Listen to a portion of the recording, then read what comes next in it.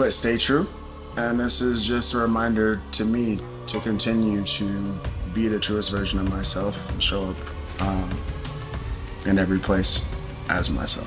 I'm in my zone.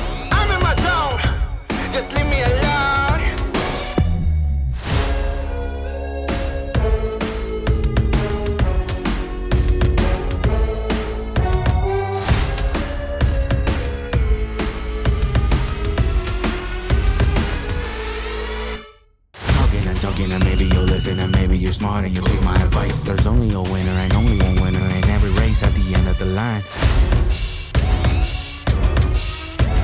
I'm excited about the results, honestly. Just dealing with chronic pain over really my whole life, most of my career, and uh, trying to figure out ways to, to fine tune and have a better quality of life.